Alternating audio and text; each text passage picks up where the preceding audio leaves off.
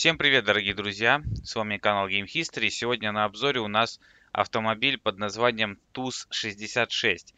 А, на самом деле является, э, грубо говоря, копией нашего 69-го газона, но ввиду авторских прав, не полученных на данную игру, вот название пришлось э, разработчикам оставить ну, такое вот. А, посмотрим по тюнингу как он тюнингуется, потом его обкатаем уже на полигоне. Так, по двигателям. Двигатель у нас стоит э, довоенный двигатель, маломощный. Ну, видимо, экономично написано. Самый нормальный мы можем поставить вот такой. Коробка передач устаревшая, серийная, магистральная и снегоход. Ставим снегоход, так как есть две, еще две понижающие передачи. Пониженная минус и пониженная плюс. Подвеску делаем отрегулированную. Самая высокая. Шины ставим. А, очень большой выбор шоссейных, вездеходных, а, недорожные шины для бездорожья. Так как у нас полигон летний, ставим шины для бездорожья, ставим 39 дюйм лебедку ставим, я считаю, что ставить на легкие автомобили можно обычную автономную легкую лебедку, так как у нее вполне хватит э, силы перевернуть данный автомобиль. Мощная все-таки она будет, наверное, излишне. Зато автономка, она будет работать даже если мы перевернемся. Запасное колесо сзади ставится, но, правда, оно вот шоссейной резиной, ну это ладно. Модуль кузова ставится багажник сверху, можем поставить. Шнурки либо длинный с воздухозаборником, либо короткий с насадкой. Ставим длинный, чтобы было повыше. По декору есть парный клаксон, наружный, прожектор, пороги и это такое? А, вот это вот, как он называется, козырек. Ну, поставлю прожектор пару. Козырек хрен с ним. Задний бампер стоит либо серийный, либо двойная труба. Поставим трубу. Передний бампер двойная труба. Э, наклон, я не знаю, наклон, точка. Фиг знает, что это такое. Э, буксировочные петли, либо серийный.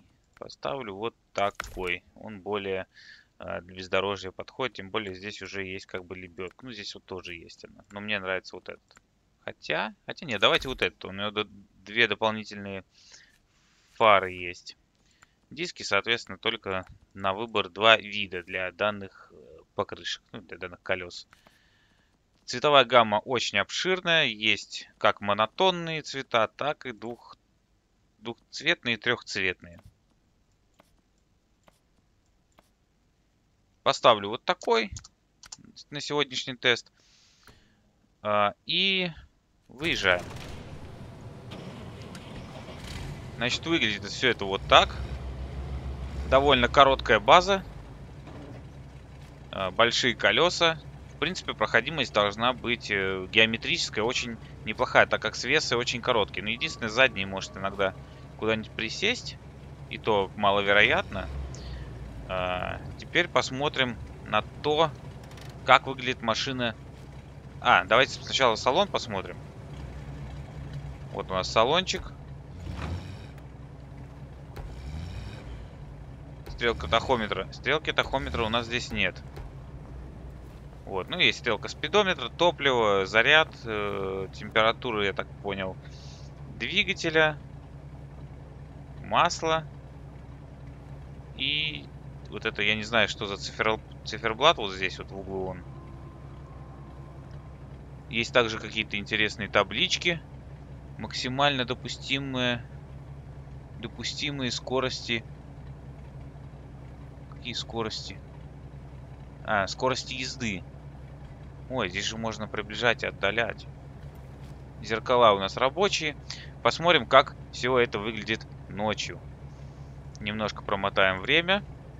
Загорается сразу подсветочка приборов. Включим фары. Ну, вот фары. Так, внешне спереди у нас горят габариты. То есть э, в фарах почему-то, хотя там лампы просто обычного ближнего света должны быть. И, соответственно, сами габариты горят. Освещение на крыше и освещение на бампере выключено. Сзади горят два габаритных огня. Э, стопы там же в габаритах находятся. Задний свет. Задний свет, от, э, свет за... как он правильно говорится? Фонарь заднего хода отсутствует. Соответственно, при включении фар загорается все, в том числе прожектор. Кстати, его нельзя поворачивать, мне интересно. Наверное, его нельзя поворачивать. Если можно, напишите, пожалуйста, в комментариях. Может быть, это делается какими-то кнопками из, э, ну, уже назначенных в управлении. Ладно, вернем время на дневное. Ну, это, скорее всего, утреннее, да? Если по карте посмотреть, да, утро 10 часов. По прицепам. Прицепы у нас подходит платформа, малая цистерна на 900 литров и малый прицеп платформа. Можно его загрузить чем-нибудь, попробовать.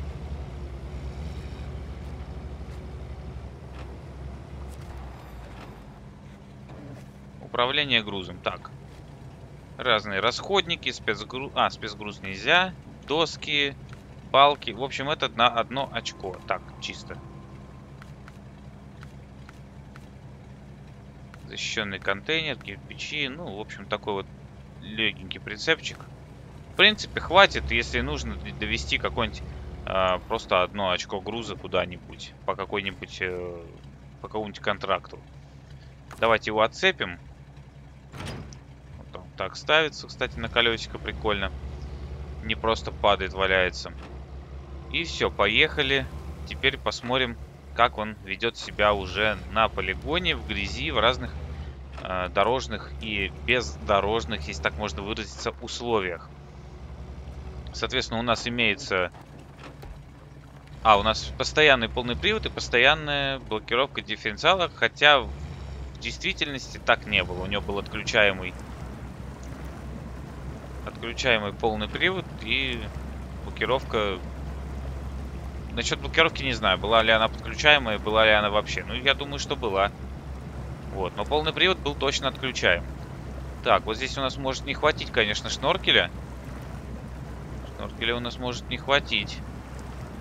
Хотя нет, в принципе, у нас его хватило. Хорошо.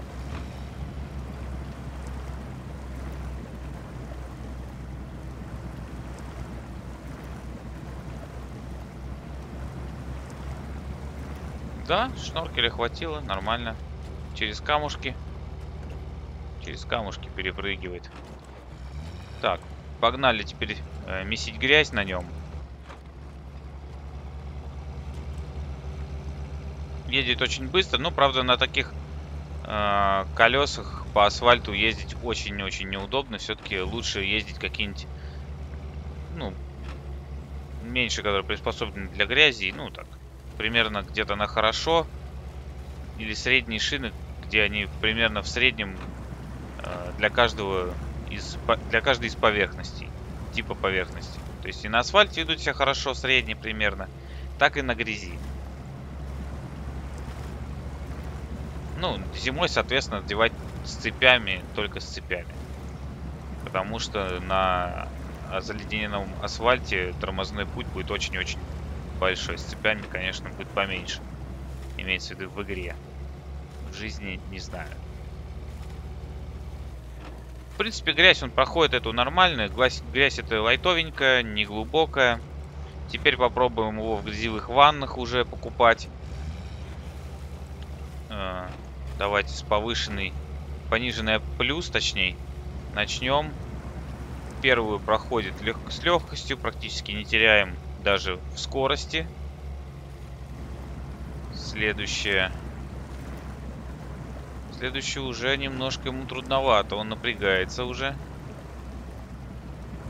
Хотя, в принципе, он ползет. То есть нельзя сказать, что тут застрял. Просто сложно преодолимый участок. Но преодолимый. И остался у нас третий. Самый глубокий. Нет, кстати, на пониженный плюс лучше не переходить, потому что он начинает сам себя зарывать уже. А если понижайку? Примерно, примерно он как раз вот на такой скорости едет. Только на этой скорости ночей буксует просто.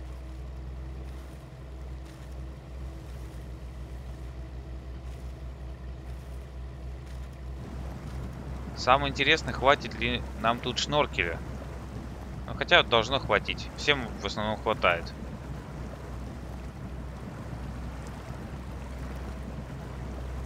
Нива, по-моему, в прошлом обзоре не получалось здесь никакого урона, потому что как раз он был уже...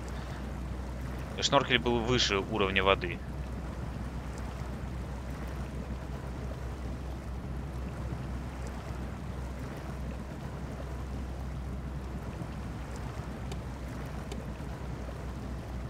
Да, нормально. Как раз вот э, вода ему по капот. Без шноркеля, конечно, бы он здесь уже, наверное, получал бы урон. А так нормально.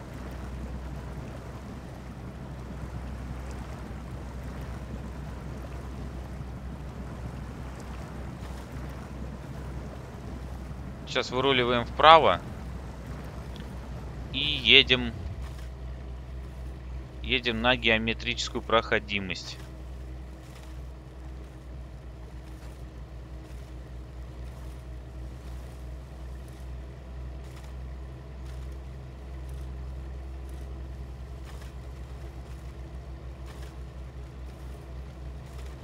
Там, кстати, есть еще одно интересное испытание. Это тоже касаемо геометрической проходимости, но уже в мягком грунте, то есть там в болоте, грязевые ванны очень многочисленные. И, кстати, на чем-то я ездил. По-моему, на Ниве я ездил, катался на ней просто. В обзор это в прошлый не попало. Но она, по-моему, прошла данное испытание я думаю, в этом испытании мы, наверное, затронем. Вот сюда засаживать не будем машину в конце обзора, а все-таки лучше там ее попробуем засадить. Наверное, даже это будет вот после вот этого испытания.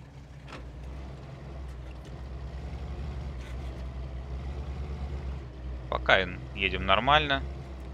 С весами не тюкаемся, хватает. Нива здесь уже получала урон, кстати. Оба есть. Один. Удар, точнее, на 11. Двигатель повредили.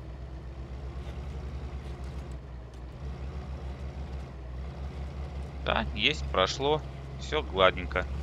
Наверное, мы сделаем э, в конце обзора. Э, как раз туда поедем.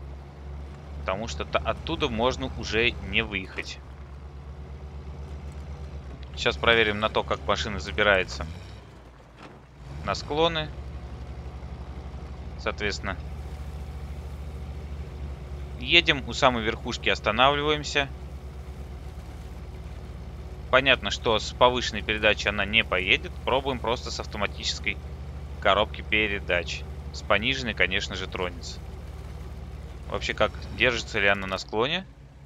Держится. С автомата выживаем газ и отпускаем ручник. Да, забирается с легкостью. Здесь полностью геометрии машины хват, э, хватает на преодоление ухабов и трамплинов. Сейчас проверим динамические характеристики автомобиля. Соответственно, их нужно э, замерять с учетом установленных шин. Шины у нас не, не шоссейные и, соответственно, не рассчитаны на высокие скорости. То есть динамика у этой машины э, на последнем месте стоит.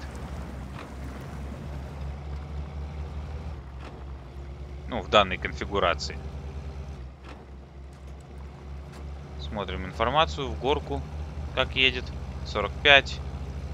45 ну, примерно. Сейчас, наверное, до 40 опустится. 40.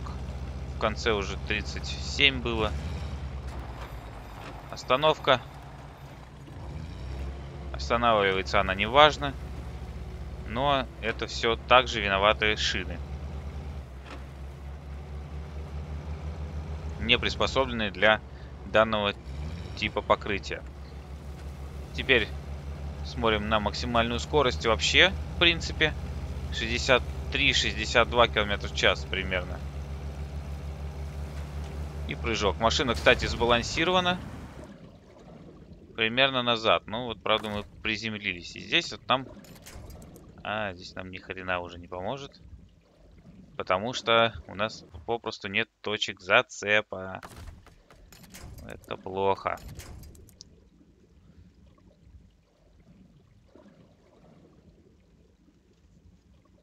Так, сейчас я ее переверну и уже увидимся на последнем испытании. Ну вот, друзья, и крайнее испытание для этого автомобиля. А, вот та самая гряда, через которую ему сейчас предстоит это проехать. Начнем с пониженный минус, чтобы смотреть, как проходит ее данный автомобиль. Упирается, но едет. В принципе, грунт здесь мягкий, грязь мягкая. Так что пока что не составляет труда это все ему разгрести.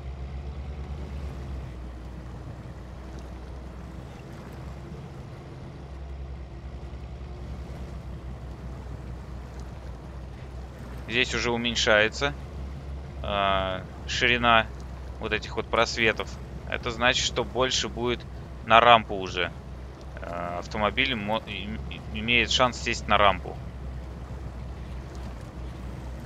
Уже немножко застревает. Но пока едет.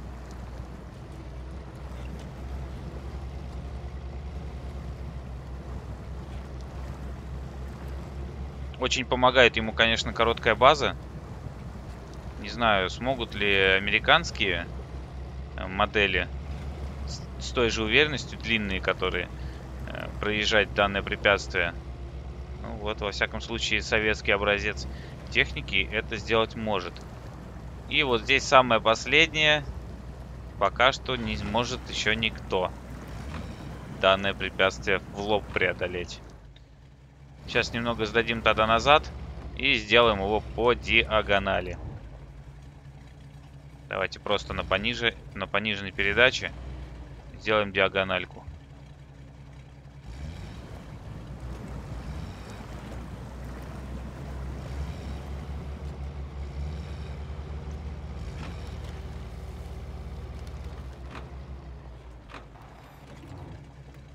Ну вот, друзья, на этом наш сегодняшний обзор закончен.